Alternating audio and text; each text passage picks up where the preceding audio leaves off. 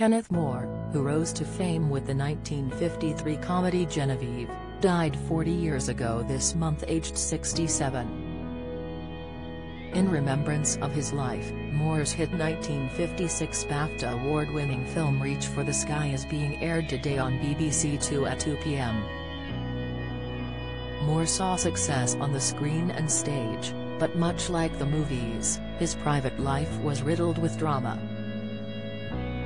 Despite writing in his autobiography that faithfulness in marriage wears thin, the actor believed monogamy was fundamental to a successful marriage.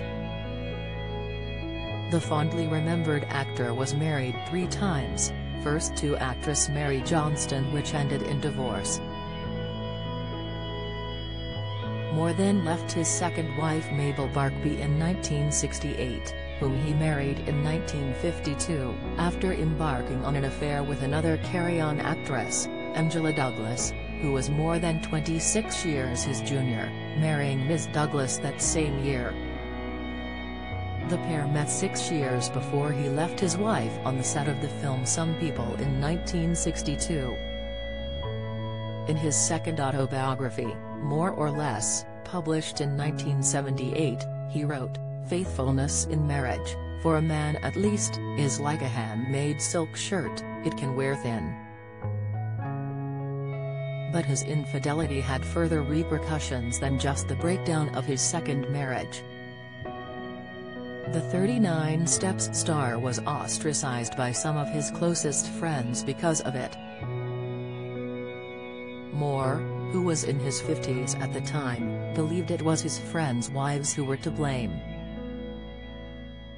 He thought his friends' partners believed their husbands would be badly influenced by his decisions and contemplate leaving them for younger women too, so, he said, his friends were forced to abandon their friendship with him.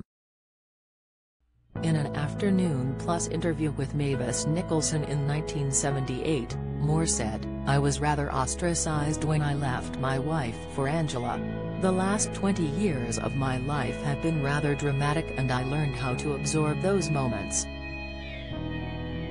I wasn't so much hurt really, I was amazed. Old friends that I'd been literally so close to it wasn't true just cutting me in the street. Well I worked it out in the end, in hindsight, it's always easier isn't it?